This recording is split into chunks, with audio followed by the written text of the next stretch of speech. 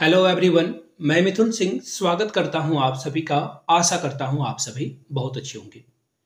आने वाले एग्जाम के पॉइंट ऑफ व्यू से अगर आप देखोगे तो प्रीवियस क्वेश्चन पेपर अगर आप उठाकर देखोगे तो आपको एक पैटर्न जो है दिखाई पड़ेगा वो पैटर्न क्या है हर बार सेंसस 2011 यानी कि जनगणना भारत की जनगणना 2011 में जो कराई गई है उससे हर एग्जामिनेशन में एक ना एक क्वेश्चन आपसे पूछा जाता है तो आज हम लोग रैपिड में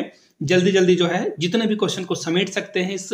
छोटे से सेशन में उसे देखने की कोशिश करेंगे समझाने की कोशिश करेंगे और खुद भी समझने की कोशिश करेंगे तो चलिए मेरी फर्स्ट क्वेश्चन के साथ इसकी शुरुआत करते हैं ज़्यादा वक्त अब नहीं लेंगे पहला क्वेश्चन देखो क्या है आपके सामने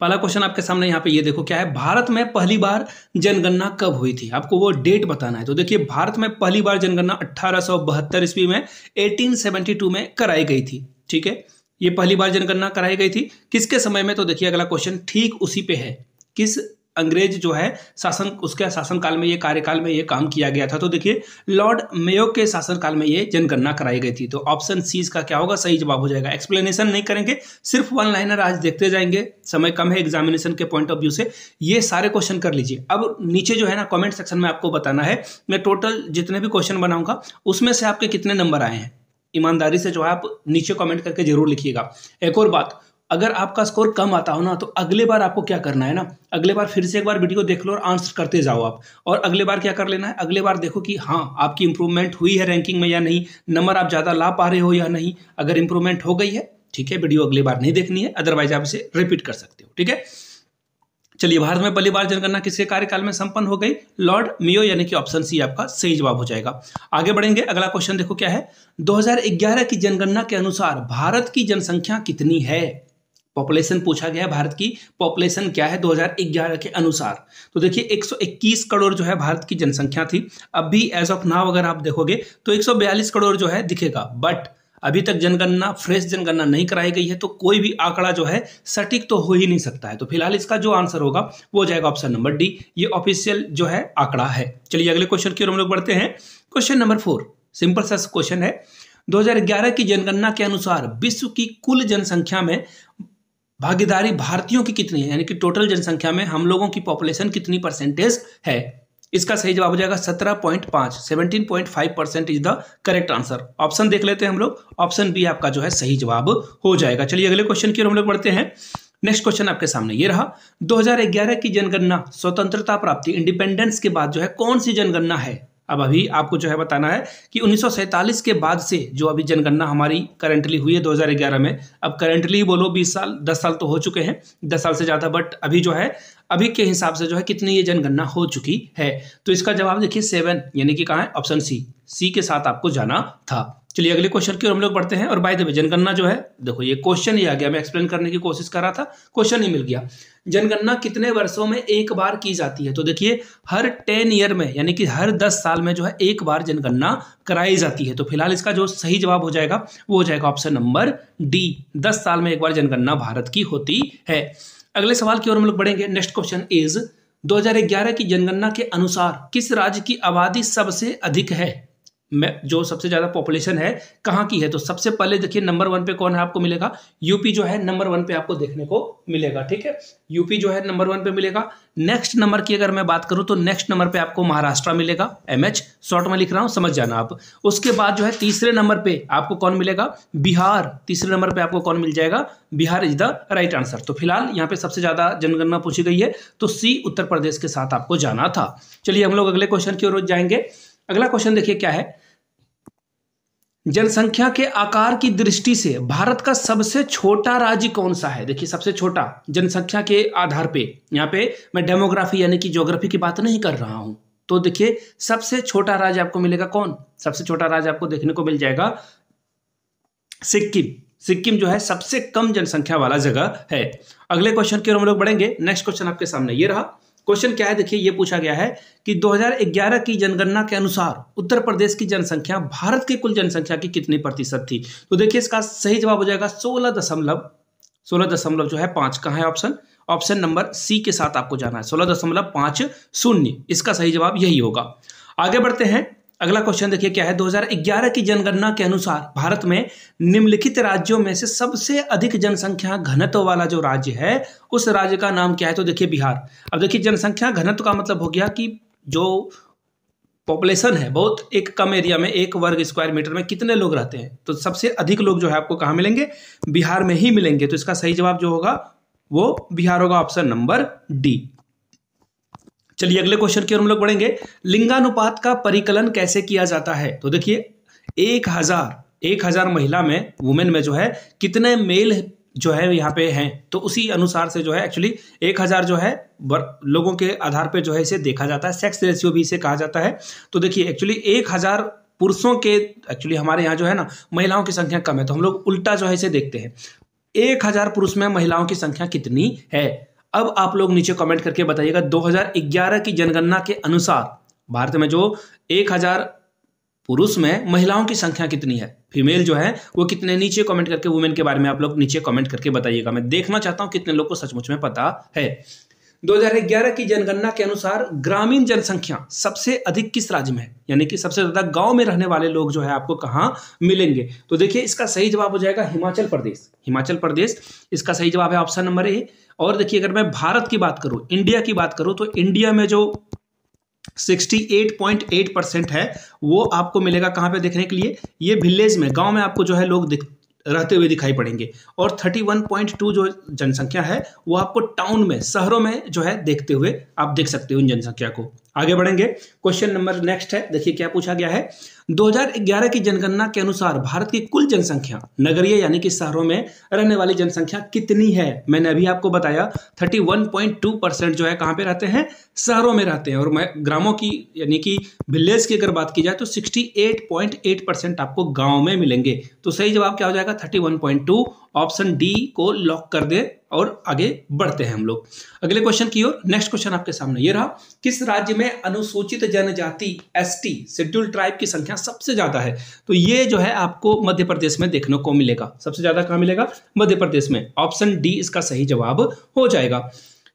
नेक्स्ट क्वेश्चन की ओर हम लोग बढ़ते हैं नेक्स्ट क्वेश्चन आपके सामने ये रहा भारत में प्रभावित साक्षरता दर की गणना जो है कैसे की जाती है तो देखिए सबसे ज़्यादा जो जनसंख्या जो है साक्षरता दर को गिनने का सीधा सीधा तरीका है सात साल के उम्र से जो ऊपर की जनसंख्या है वो पढ़ी लिखी है या नहीं इससे हम लोग जो है इसकी गणना करते हैं डी आपका सही जवाब होगा आगे बढ़ते हैं नेक्स्ट क्वेश्चन की ओर 2011 में देश के निम्नलिखित राज्यों में किसमें साक्षरता दर सबसे कम थी सबसे कम साक्षर वाला यानी कि सबसे कम लिटरेट स्टेट कौन सा है तो इसका जवाब देखिए दुखद है बट रियलिटी यही है कि बिहार की जनसंख्या सबसे आई I मीन mean, जो साक्षरता दर है वो सबसे कम है और सबसे अधिक की बात करें तो सबसे नंबर वे पे नंबर वन पे आपको कौन मिलेगा केरला जहाँ पे सबसे ज़्यादा साक्षर पुरुष भी है महिला भी है और कुल जनसंख्या भी सबसे ज़्यादा साक्षर आपको देखने को मिलेगा आगे बढ़ेंगे 2011 की जनगणना में बिहार की अनुमानित आबादी जनसंख्या जिसे आप समझ लो कितनी थी तो देखिए दस करोड़ जो है बिहार की जो है आबादी थी अगर इसी तरह महाराष्ट्र की मैं बात करूं नंबर टॉप थ्री की बात कर रहा हूं तो महाराष्ट्र दूसरे नंबर पे तीसरे नंबर पे बिहार है महाराष्ट्र की जनसंख्या आपको जो है मिलेगी ग्यारह करोड़ ठीक है और अगर मैं नंबर वन की बात करूं यूपी की तो यूपी में आपको जो है बीस करोड़ मिलेंगे याद रखना ये 2011 के अनुसार मैं आपको बता रहा हूँ अभी जो है जनसंख्या बदल गई है बट ऑफिशियल डेटा जब तक नहीं आती है सेंसस की तब तक हम लोग पुराने डेटा से काम करेंगे जनगणना 2011 के अनुसार देश में सर्वाधिक जनसंख्या वाला राज्य कौन सा है सबसे अधिक जनसंख्या किस राज्य में है जहां पे 20 करोड़ लोग रहते हैं अब भी मैंने तुरंत आप लोगों को बताया सबसे ज़्यादा जनसंख्या आपको कहाँ मिलेगी यूपी में ऑप्शन ए ही आपका सही जवाब हो जाएगा दूसरे नंबर पे मध्य प्रदेश है तीसरे नंबर पे सॉरी मध्य प्रदेश नहीं है दूसरे नंबर पे महाराष्ट्र है और तीसरे नंबर पे आपको बिहार मिलेगा मैं आपको पहले भी ये बातें बता चुका हूं फिलहाल इसका जो सही आंसर है ऑप्शन ए इसका सही जवाब हो जाएगा चलिए आगे बढ़ेंगे दो की जनगणना के अनुसार भारत का दूसरा सर्वाधिक आबादी वाला राज्य कौन सा है मैंने आपको बता दिया पहले नंबर पे यूपी है फिर से रिवाइज करा देता हूं दूसरे नंबर पे आपको महाराष्ट्र दिखेगा तीसरे नंबर पे आपको बिहार देखने को मिलेगा ठीक है ऑल राइट चलिए यानी कि इसका सही जवाब है दूसरा पूछा गया है तो दूसरा महाराष्ट्र होगा ए आपका सही जवाब होगा चलिए आगे बढ़ते हैं नेक्स्ट क्वेश्चन इज भारत की जनसंख्या घनत्व देखिए एक स्क्वायर किलोमीटर में यानी कि एक जो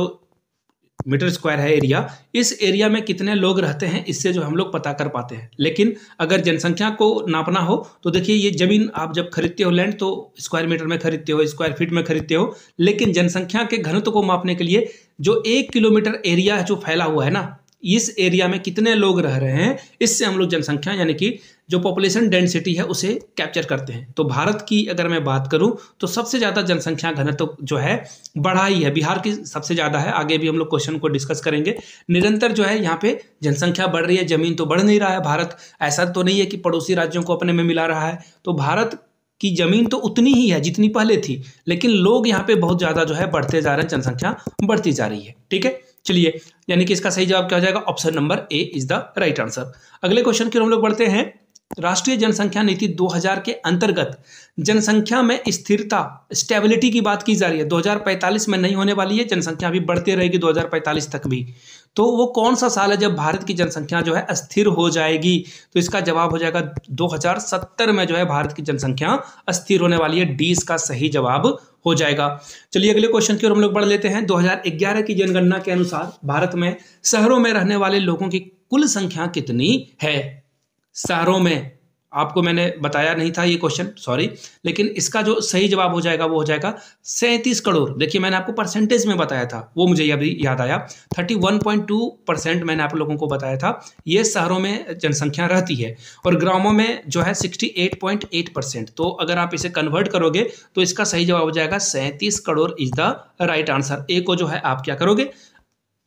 I I mean mean, colour करोगे ओ में अगर ऑनलाइन हो तो ए को आपको टिक करना है क्लिक करना है अगले क्वेश्चन की ओर हम लोग बढ़ते हैं जनसंख्या 2011 के अनुसार भारत में स्त्री साक्षरता दर की दृष्टि से केरल के बाद दूसरा स्थान किस राज्य का है कौन सा स्टेट दूसरे नंबर पे है महिलाओं की साक्षरता की बात की जा रही है लिटरेसी की बात की जा रही है तो दूसरे नंबर पे आपको कौन देखने को मिलेगा मिजोरम ऑप्शन बी आपका ए जो है आपका क्या है सही जवाब हो जाएगा मिजोरम जो है आपको सबसे नम, दूसरे नंबर पर मिलेगा नंबर वन पे केरला है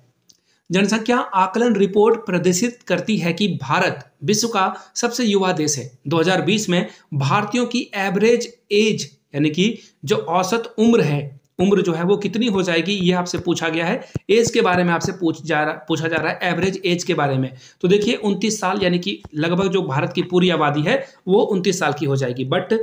जब तक नई जनगणना नहीं आएगी तब तक तो कुछ कहा ही नहीं जा सकता है आबादी की वृद्धि दर को कहने का क्या मतलब है इसका क्या मतलब होता है तो देखिए जितने व्यक्ति पैदा हुए और जितने व्यक्ति मरे हैं उनके बीच का अंतर को ही वृद्धि दर हम लोग कहते हैं आगे बढ़ेंगे किस राज्य में महिला साक्षरता दर सबसे अधिक है दूसरे नंबर देखिए पहले नंबर पे आपको कौन देखने को मिलेगा Kerala Kerala is the right answer होगा पहले नंबर पे लेकिन आपसे यहाँ पे पूछ दिया गया सबसे अधिक तो केरला इसका सही जवाब है लेकिन दूसरे नंबर पे अभी हम लोगों ने वो क्वेश्चन भी पढ़ा है फिर से एक बार रिकैप कर लेते हैं Mizoram is the right answer दूसरे नंबर पे आपको कौन मिलेगा मिजो सेकेंड मिजो वन केरला भारत में जनसंख्या घनत्व की परिभाषा की जाती है कैसे हम लोग परिभाषा जो है देखते हैं तो मैंने आपको क्या बताया था कि एक स्क्वायर किलोमीटर में जितने लोग रहते हैं उसी के अनुसार जो है इसे हम लोग देखते हैं तो यानी कि इसका जवाब क्या हो जाएगा ऑप्शन नंबर डी आपका सही जवाब हो जाएगा आगे बढ़ेंगे भारत में सबसे घनी आबादी वाला राज्य कौन सा है सबसे ज़्यादा आबादी जो है आपको कहाँ मिलेगा बिहार में मैंने आपको ये पहले भी क्वेश्चन करा दिया था बी इसका सही जवाब हो जाएगा आगे बढ़ेंगे अगले क्वेश्चन की ओर 2011 के अंतिम जनगणना परिणाम के अनुसार भारत में जन घनत्व क्या है यानी कि एक स्क्वायर एक जो स्क्वायर किलोमीटर है उसमें कितने लोग रहते हैं तो देखिए इसका सही जवाब जाएगा तीन सौ बेरासी लोग रहते हैं थ्री एटी टू जो लोग हैं आपको एक स्क्वायर किलोमीटर में देखते रहने के मिलेंगे आगे बढ़ेंगे किस राज्य का उस राज्य का नाम बताना जिसकी जनसंख्या घन तो सबसे कम है यानी कि लैंड यहाँ पे ज़्यादा है लोग यहाँ पे कम है तो अरुणाचल प्रदेश इसका सही जवाब हो जाएगा ऑप्शन नंबर सी आगे बढ़ते हैं 2011 के अनुसार देश में सबसे अधिक घनत्व निम्नलिखित में से किस ने दर्ज किया है कौन से राज्य में तो देखिए ये यूटी है और सबसे कम यहाँ पे लोग सबसे अधिक जो है घनत्व यहाँ पे है एक्चुअली इसका मतलब क्या हुआ कि बहुत कम जगह पे बहुत ज़्यादा लोग रहते हैं तो इसका सही जवाब क्या हो जाएगा दिल्ली ऑप्शन ए इसका सही जवाब हो जाएगा Delhi is the right answer अगले क्वेश्चन की ओर हम लोग बढ़ेंगे